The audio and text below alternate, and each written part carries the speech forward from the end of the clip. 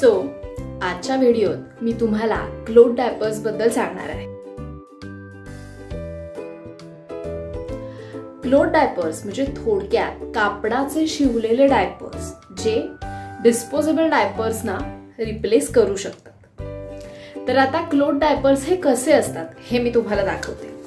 हा आहे हा क्लोथ डायपर आहे. या क्लोथ डायपरचे दोन भाग असतात. म्हणजे हा? आउटर शेल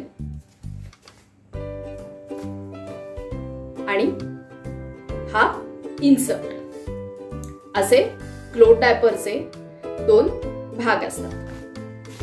हा जो क्लोथ डायपर आहे याला पॉकेट डायपर म्हणतात. याच्यामध्ये अशा प्रकारचं पॉकेट किंवा खिसा असतो ज्याच्यामध्ये हा इन्सर्ट हा घालायचा आणि त्यानंतर आपण हा क्लोथ डायपर बाळाला घालू शकतो.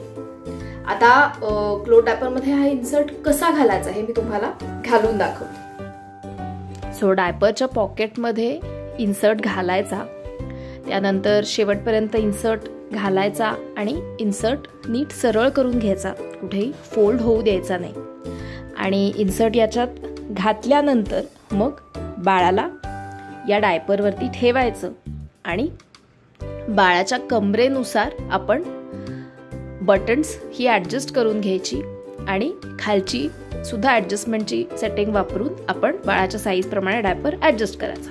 सो अशा प्रकारे क्लो डायपरमध्ये इन्सर्ट घातल्यानंतर आपण टेपचे डिस्पोजेबल डायपर्स बाळाला जसे घालतो तशा प्रकारे डायपरवरती बाळाला झोपून आपण हा डायपर बाळाला घालू शकतो.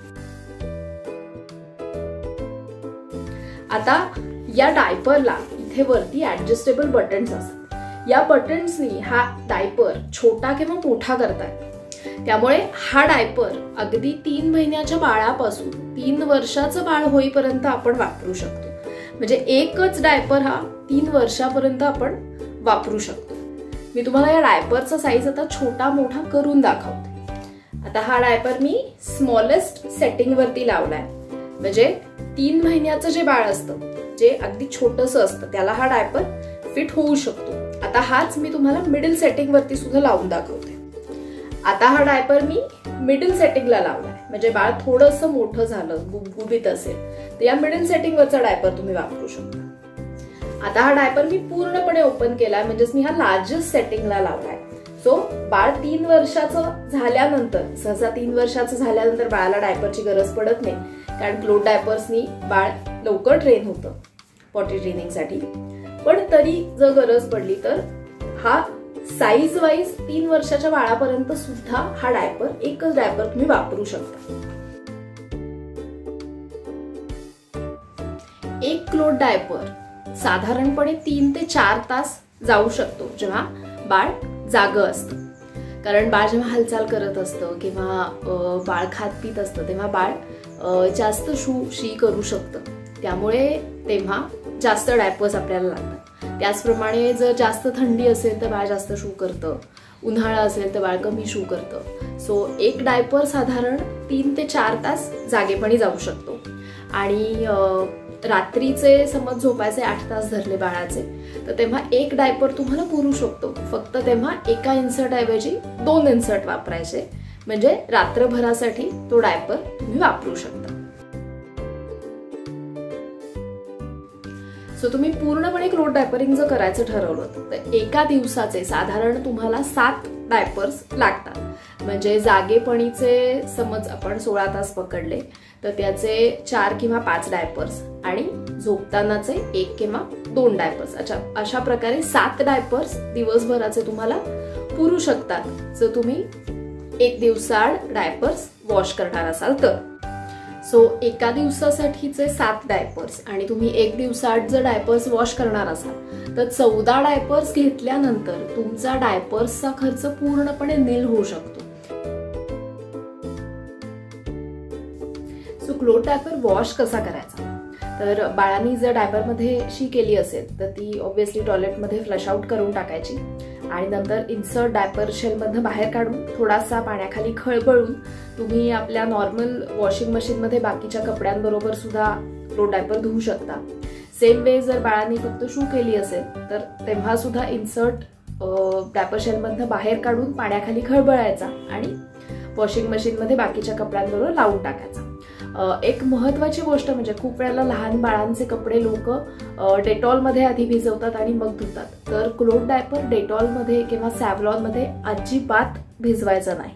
कारण डेटॉल किंवा सॅव्हलॉनचा डायपरच्या इन्सर्टवर आणि शेलवरती एक लेअर चढतो आणि तो डायपरची ॲब्झॉर्प्टिव्हिटी कमी करतो. त्यामुळे तुम्ही सॅव्हलॉन किंवा डेटॉलमध्ये जर क्लोथ डायपर्स धुतले तर तुमचे क्लोथ डायपर्स हे काम करणार नाहीत. म्हणजे बाळाची शूशी ॲब्झॉर्ब करणार नाही. सो डेटॉल किंवा सॅव्हलॉनमध्ये अजिबात धुवायचे नाही.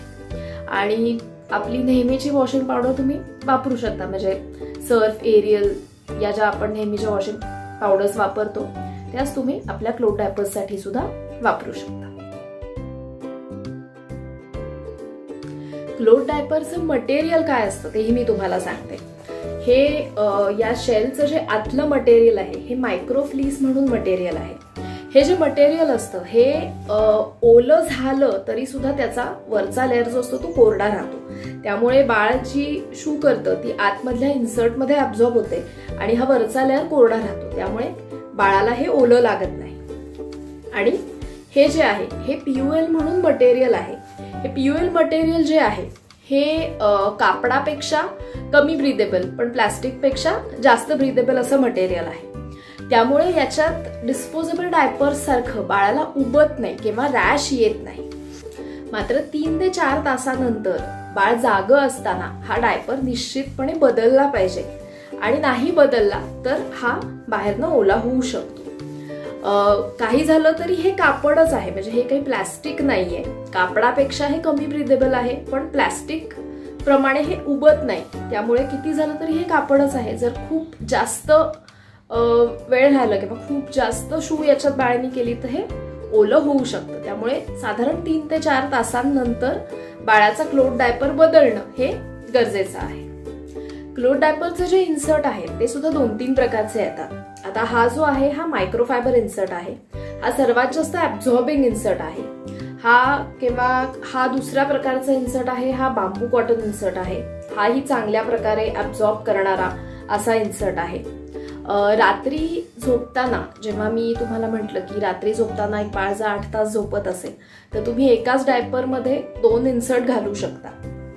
तर वरती हा मायक्रोफायबर इन्सर्ट आणि याच्या खालती हा बांबू कॉटन इन्सर्ट अशा प्रकारे तुम्ही हे पॉकेट डायपरमध्ये घालू शकता आणि बाळाला हे घालू शकता. आता वरती याचा अर्थ हे आत घातल्यानंतर हा जो व्हाईट लेअर आहे वरचा त्याला हा मायक्रोफायबर इन्सर्ट टच झाला पाहिजे आणि खालच्या पीयूएलच्या इथे हा इन्सर्ट आला पाहिजे. सो अशा प्रकारे दोन इन्सर्टचं कॉम्बिनेशन करून तुम्ही रात्रभरासाठी सुद्धा हा क्लोथ डायपर अगदी आरामात वापरू शकता.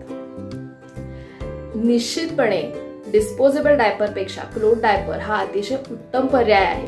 कारण हा आपले पैसे वाचवतो. त्यानंतर हा बाळासाठी स्किन फ्रेंडली असतो. कारण याच्यात डिस्पोजेबल डायपरसारखी कुठलीही केमिकल्स नसतात. आपण जेव्हा डिस्पोजेबल डायपर वापरतो तेव्हा तेवढ्या काही तासांसाठी आपण आपल्या बाळाला केमिकल्सला एक्सपोज करत असतो. त्याच्याऐवजी डिस्पोजेबल डायपरपेक्षा आपण जेव्हा क्लोथ डायपर वापरतो तेव्हा आपण खूप चांगला आणि सेफ पर्याय आपल्या बाळासाठी निवडतो.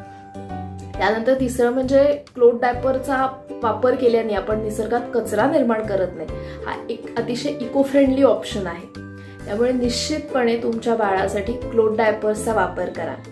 क्लोथ डायपर्सबद्दल तुम्हाला कुठलेही प्रश्न असतील की क्लोथ डायपर कुठून विकत घ्यायचा कसा वापरायचा किंवा काहीही तुम्हाला प्रश्न असतील तर तुम्ही मला या नंबरवरती कॉन्टॅक्ट करू शकता.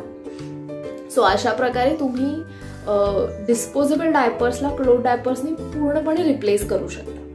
माझ्या दोन्ही मुलांसाठी मी फुल टाईम क्लोथ डायपरिंग करत होते. आणि अर्थातच त्यात माझे खूप पैसे सेव्ह झाले. आणि ऑब्व्हियसली आपण याच्यामध्ये निसर्गाची सुद्धा हानी होण्यापासून वाचवतो. तुम्हाला काही प्रश्न असले क्लोथ डायपर्सबद्दल तर तुम्ही मला कॉल करू शकता. किंवा या व्हिडिओ खाली कमेंट करून सुद्धा तुम्ही मला प्रश्न तुमचा विचारू शकता. मी नक्की तुमच्या प्रश्नाला उत्तर देईन. आणि तुम्हाला जर हा व्हिडिओ आवडला असेल तर व्हिडिओ लाईक करा चॅनलला सबस्क्राईब करा त्याचबरोबर बेल आयकॉनवरती क्लिक करा. म्हणजे मी जेव्हा नवीन व्हिडिओ अपलोड करीन तेव्हा लगेच तुम्हाला नोटिफिकेशन येईल. आणि तुम्हाला माझे व्हिडिओ माझा कंटेंट आवडत असेल तर या व्हिडिओच्या शेवटी माझ्या इतर व्हिडिओजची लिंक येईल. त्याच्यावरती क्लिक करून तुम्ही माझे बाकीचे व्हिडिओसुद्धा बघू शकता. थँक्यू